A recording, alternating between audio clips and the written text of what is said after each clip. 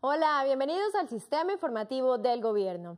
El país tuvo ayer un ahorro de energía del 4.53%, informó este martes el presidente de la República, Juan Manuel Santos, quien agregó que se necesita un esfuerzo adicional en estas semanas y dentro de pocos días hará una evaluación del sector.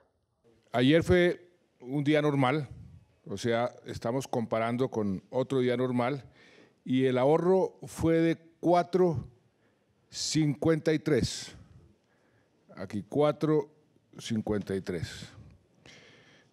Vamos bien, pero necesitamos hacer un esfuerzo adicional.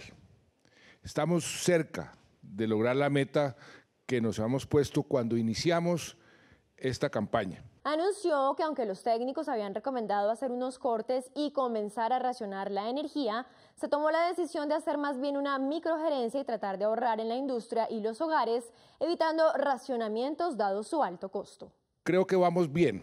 Esta semana va a ser fundamental, va a ser determinante.